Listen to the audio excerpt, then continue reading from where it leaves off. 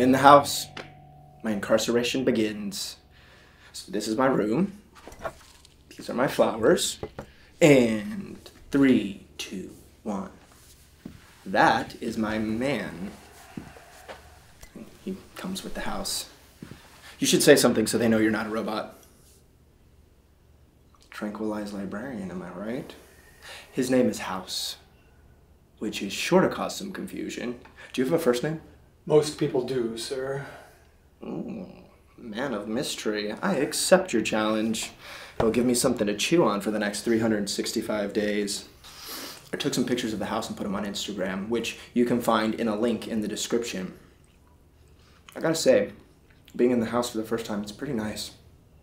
I'll take more pictures from time to time of the house and of town since it seems to be the only place that I can go, right? As I understand it. I saw on Yelp there's only uh, there's only one coffee shop. Is that any good?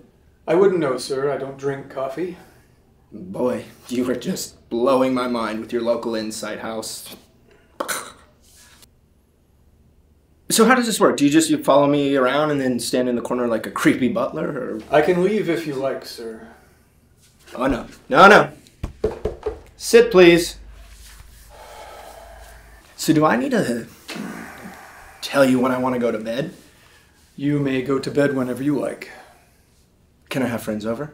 Yes, Can we order pizza? certainly. Who orders? I do. Who pays? I do. Do you eat the pizza? I don't like pizza. What's the stipend situation? Is there a stipend situation? No, There's no stipend situation.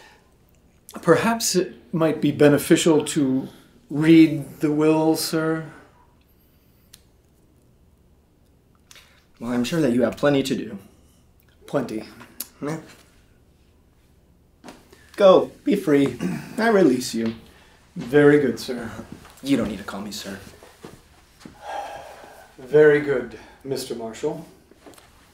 We'll work on that.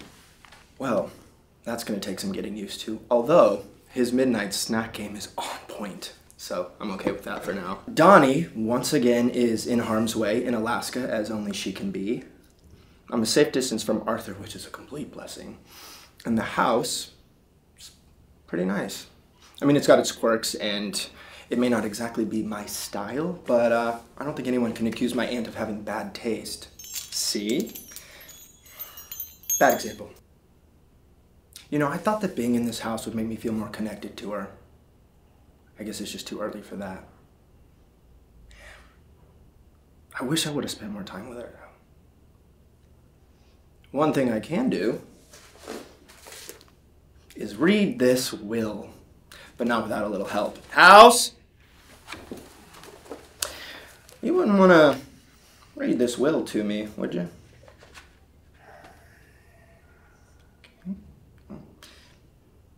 How about some coffee? Coming right up, Mr. Marshall. What? It was worth a shot. And the tableside service. Now, I could get used to that. I just wish that reading this will were equally as exciting. Whoa. House? House? Okay, I'll fill you in tomorrow, I promise.